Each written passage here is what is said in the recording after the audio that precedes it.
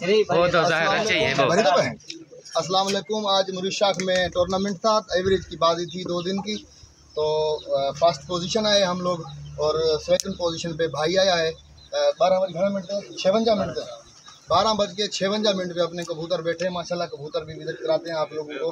तो सब दोस्त जितने भी देखने वाले हैं सबको हमारी जो है फिर और तक कर दा बहुत वीडियो भी बना के अंदर सब दोस्तों को मुबारक देते हैं हम जितने भी दोस्त हैं चाहने वाले शागिर्द हैं दोस्त हैं भाई हैं जितने सबको मुबारक हो। आज हम इधर टूर्नामेंट था जीत गए। अस्सलाम वालेकुम